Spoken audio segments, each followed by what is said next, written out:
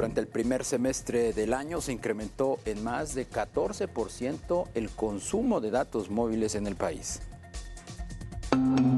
Durante el primer semestre del año, el consumo de datos móviles en México creció 14.5% a tasa anual.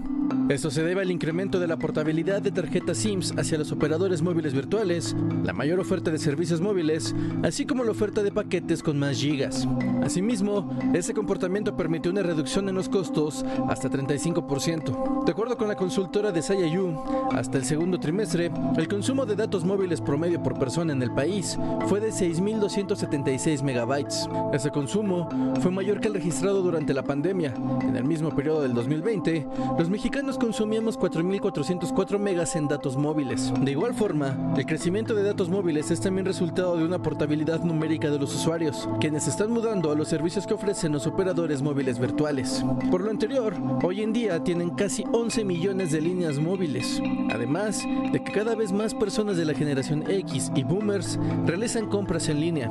Sin embargo, México todavía está lejos del consumo de datos móviles que hay en otros países de América Latina como Brasil o Chile. En tanto, las llamadas y los mensajes SMS son servicios que van a la baja entre los consumidores, quienes prefieren hacer uso de las aplicaciones de mensajería para comunicarse con sus contactos. El promedio de llamada es de 387 minutos y de mensajes es de solo 8 por usuario.